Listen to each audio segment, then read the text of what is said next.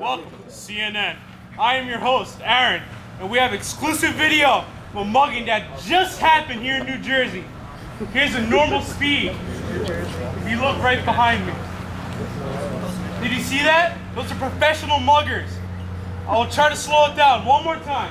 Come on, guys. Come on, camera crew. Did you guys catch that? These guys are real professionals. You gotta watch really closely.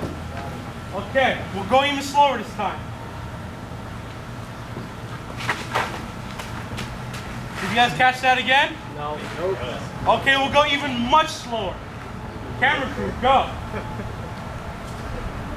Oh, just take it easy, man. Got of camera.